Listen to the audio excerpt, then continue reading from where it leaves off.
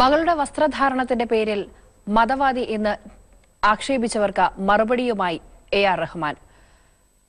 ഓരോ വ്യക്തിയുടെയും സ്വാതന്ത്ര്യ അവകാശമാണെന്നും കുടുംബത്തിൽ എല്ലാവരുടെയും വ്യത്യസ്ത വസ്ത്രധാരണം തിരഞ്ഞെടുക്കുന്നവരാണെന്നും കുടുംബ ഫോട്ടോ ട്വീറ്റ് ചെയ്തുകൊണ്ട് റഹ്മാൻ നിലപാട് വ്യക്തമാക്കി. ഓസ്കർ നേടിയ സ്ലം ഡോഗ് മില്യനെയറിന്റെ പത്താം വാർഷികം ആഘോഷിക്കുമ്പോഴാണ് എ ആർ റഹ്മാനും മകൾ ഖദീജയും വേദി പങ്കിട്ടത്.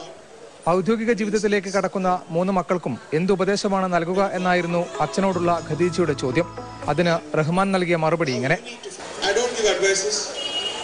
I think when you grow up, when, when all three of you grew up, I made sure that I teach you all the things I learned when I grew up, what my mom taught me, and now you need to follow your heart and your instincts.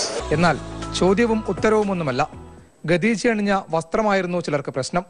മുഖവും തലയും മറച്ചുകൊണ്ട് വസ്ത്രമണിഞ്ഞെത്തിയതിനെ പലരും വിമർശിച്ചു.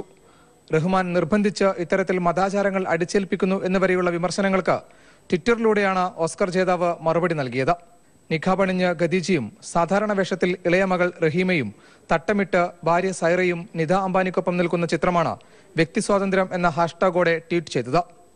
തന്റെ ഇഷ്ടപ്രകാരമാണ് ജീവിതമെന്നും ആരുടെയും ജീവിതത്തിൽ താനും ഇടപെടാറില്ലെന്നും ഗായിക കൂടിയായ ഖദീജയും ഇൻസ്റ്റഗ്രാമിലൂടെ വിശദീകരിച്ചു. മനോരമ ന്യൂസ് ചെന്നൈ.